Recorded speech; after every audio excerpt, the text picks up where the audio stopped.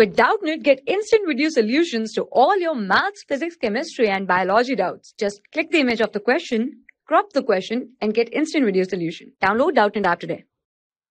Here question given is that complete the following reaction in and identify A and B product. Okay. This is the reaction. Reaction of boric acid with NH4 HF2. We are doing fusion here. Then A is formed and A is reacting with B2O3 and giving us B. Okay.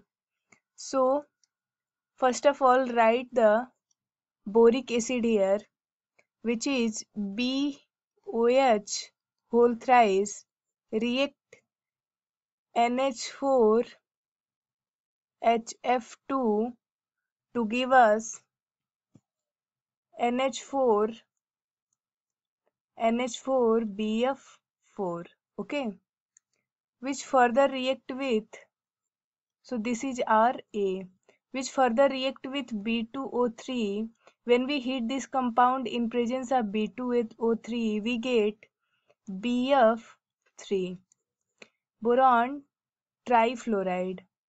So this is our B product. So A product is A is NH4 BF4 and B is BF3 so this is our answer thank you For class 6 to 12, IIT JEE and NEET level. Trusted by more than 5 crore students. Download Doubtnut app today.